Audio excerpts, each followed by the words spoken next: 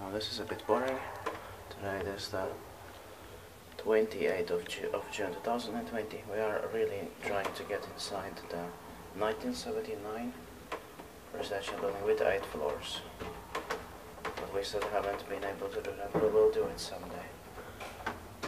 Here it's Henry Kamppi Kampen and this is Lapinlahden Katu 21 Stegesby with six floors built in 19 uh, no, it doesn't say exactly when it was built. Otis, oh, yeah, it's oh, Otis from 1929. It says 19, 1992, but it's wrong. I think it should be 1929. This was morized by Schindler in 2009 with bad buttons.